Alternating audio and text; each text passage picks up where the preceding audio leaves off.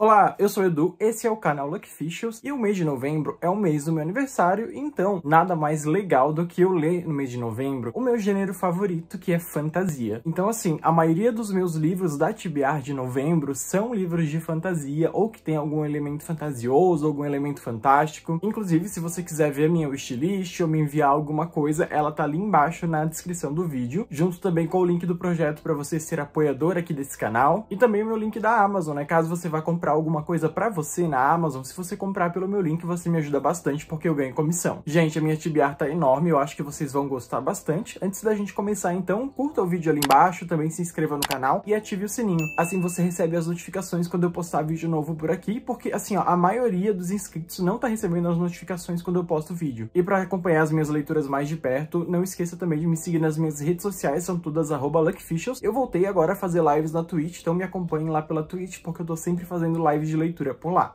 O primeiro livro da minha tibiária eu já tô lendo, que é O Mistério das Irmãs Hollow, que é da Crystal Sutherland. E esse é um livro de mistério familiar que traz coisas assim muito dark. Ele traz um ar super sombrio, é um livro que eu tô gostando bastante e eu não vejo a hora de trazer um vídeo aqui no canal falando sobre ele pra vocês. Até agora ele me lembrou um pouco assim gótico mexicano, sabe esses livros realmente assim sombrios que mexem com coisas sobrenaturais e assim muito mistérios. Os mistérios são muito instigantes até o momento. Eu quero ler também O Bosque das Coisas Perdidas, da Xian Shao, que é a mesma autora de A Maldição do Mar. Essa aqui é uma jacket, o livro ele tem a capa preta, é essa capa aqui verdadeira do livro. E eu sei que é mais um livro de fantasia, mas eu realmente não sei do que ele se trata, infelizmente. Ou felizmente, né, vai que eu me surpreendo com essa leitura, vamos ver como é que vai ser. O meu clube do livro aqui dos membros do canal vai ler nesse mês de novembro A Casa no Mar Cerúleo, que é este livro lindo, maravilhoso, que tem essa folha de guarda aqui impecável, marca-página, enfim, um livro incrível da editora Morro Branco de T.J. Clun. E o que eu sei sobre esse livro é que o protagonista, ele cuida de orfanatos, né? Ele viaja até os orfanatos para ver se as crianças estão sendo tratadas bem, se tá tudo certo, se aquele orfanato pode continuar aberto ou se por algum motivo tem que fechar. E parece que as crianças têm habilidades especiais nesse mundo aqui. Então, uma coisa que com certeza me lembra, né, o Orfanato da Senhorita Peregrine. E ele é um livro único de fantasia. Inclusive, esses dois aqui que eu mostrei antes também são livros únicos de fantasia. Eu tô com bastante expectativa para Casa no Mar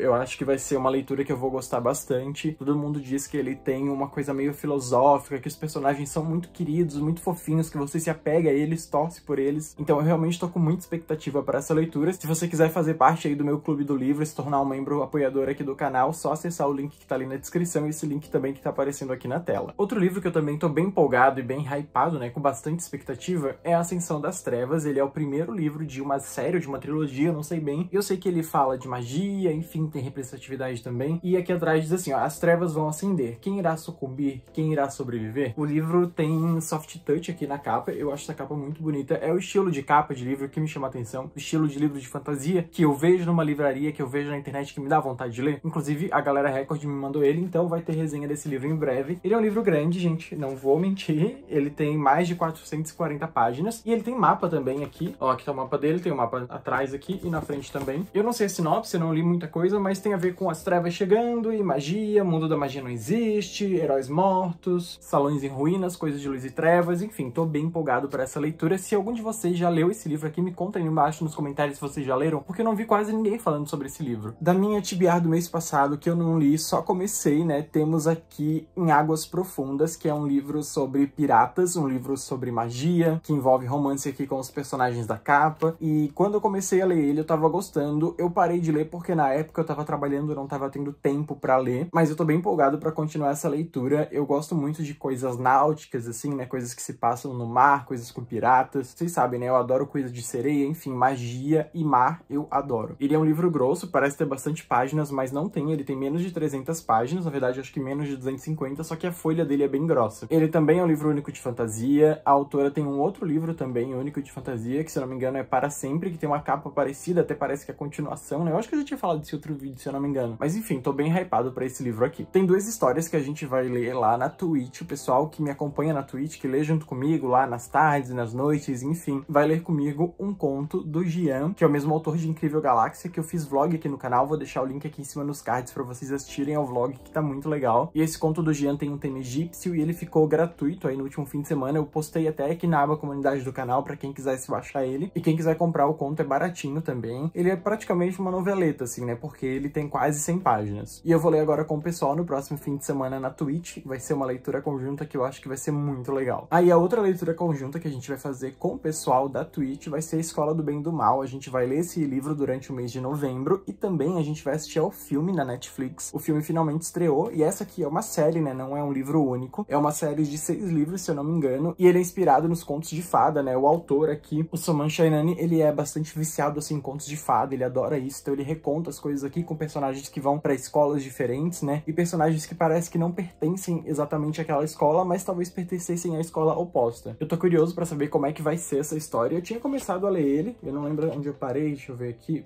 Li 10 páginas, enfim. Então eu li bem pouquinho. Eu espero gostar desse livro, espero gostar também do filme. Disseram que o filme tá bem legal. E vamos ver se eu gosto para continuar lendo a série. Também quero ler Como Se Fôssemos Vilões, que é o livro da leitura conjunta do mês de novembro do Catarse da Mel. E esse é um livro de mistério com estética Dark Academia e que tem muita coisa relacionada a Shakespeare. Os personagens, eles fazem teatro e meio que eles vivem ali essa coisa de Shakespeare, né? Tem várias peças de Shakespeare que passam ali pela história e eles conversam com relação a isso. Eles basicamente vivem ali como se fosse a vida real, essas histórias de Shakespeare. Eu nunca li nada de Shakespeare, então eu tô com um pouquinho de medo de acabar não me adaptando muito bem à leitura, não curtindo por causa disso, por perder muitas referências, mas vamos ver como é que vai ser. É um livro único também e parece que a escrita é muito boa. Uma outra leitura que eu pretendo fazer, que aí não é uma fantasia, né, é o Fantasma da Ópera. Ele vai ser a leitura conjunta do mês de novembro do Clássico Tube, que é um clube de leitura que a Paty faz, a Patrícia Lima, já há muitos anos, né? E ela me convidou para ler então Fantasma da Ópera, que é um livro que eu quero muito ler. A gente vai ler na edição da Zahar, que é essa da capa que tá aparecendo aí na tela. É um livro que eu não sei muito o que esperar, né? É um livro clássico, eu gosto bastante de ler livros clássicos, são sempre experiências assim muito boas, experiências bem diferentes. Eu realmente espero gostar, mas eu não sei absolutamente nada sobre o livro, gente. nunca assisti filme, nunca assisti peça de teatro, nada. Mas vamos ter aí mais um clássico pra coleção. Esse eu vou ler de certeza, né, no mês de novembro, porque a gente vai fazer discussão, tudo. Inclusive, se algum de vocês quiser ler com a gente também, participem aí do Clássico Tube. Eu pretendo ler também Sangue e Mel. Sangue e Mel, o segundo livro da trilogia Pássaro e Serpente. Eu li o primeiro livro, ah, acho que no começo do ano, se não me engano. Eu gostei muito, muito, muito, e eu vou ler ele, fazer um buddy reading com a minha amiga Tiffany. O primeiro livro era uma história onde a gente tinha um Enemies to Lovers, que também traz muita magia, tem aquela coisa de igreja versus bruxa, sabe? Eu tava gostando muito, eu amei o primeiro livro, além de que o livro é muito, muito divertido, então eu tô com altas expectativas para essa continuação. Tomara que ele faça jus às minhas expectativas e que ele seja ainda melhor que o primeiro livro, né? Eu tô realmente muito hypado por essa história. Eu não dava nada pelo primeiro livro, eu comecei a ler assim, sem saber o que esperar, só sabia que tinha bruxas e eu só me surpreendi, gente. A protagonista, ela é incrível, ela é muito engraçada, além dela ser debochada e abusada, enfim, eu tô muito, muito empolgado para isso aqui. E por fim, e o mais importante, né? Estou aguardando aí a editora Galera Record me enviar o livro da noite da Holly Black. Independente do livro da minha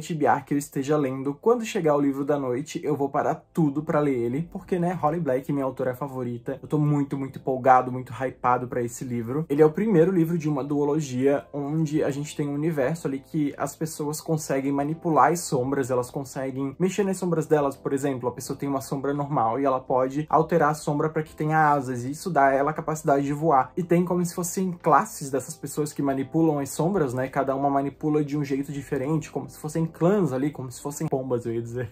Seres humanos que manipulam as mas todos são seres humanos que manipulam essas sombras. E eu sei que é um livro que vai ter mistério. É um primeiro livro de fantasia adulta da Holly Black, então eu tô, assim, muito empolgado pra saber como que ela foi se aventurar nesse novo, né, nessa coisa mais adulta, mais madura. Torcendo muito pra Holly me surpreender, como ela sempre faz nos livros dela, né, que tem ainda aquele ar creepy, aquele ar bizarro da escrita dela, e que tenha personagens cativantes e que sejam imprevisíveis e impressionantes como são nos outros livros. E claro, eu vou trazer um vídeo muito especial sobre esse esse livro aqui para vocês. Esses livros aqui, também os e-books que eu mencionei para vocês, vão ser então a minha TBA do mês de novembro, praticamente todos aí fantasia. Tô muito, muito empolgado para ler meu gênero favorito. Vamos ver se eu vou conseguir ler tantos livros assim, porque tenho muitos trabalhos da faculdade, coisas de estágio, provas, enfim. Mas eu vou tentar intercalar tudo e ler bastante, trazer bastante conteúdo aqui para vocês sobre essas fantasias. E lembrando, sim, né, que meu aniversário, 27 de novembro, o estilista tá ali embaixo. Se vocês gostaram desse vídeo, clique em gostei ali embaixo, se inscreva no canal e ative o sininho, assim você recebe os vídeos novos aqui do canal. Minhas redes sociais, né, mais uma vez falando, são todas @luckficials e não deixe de acompanhar as minhas lives de leitura lá na Twitch. E a gente se vê no próximo vídeo. Tchau!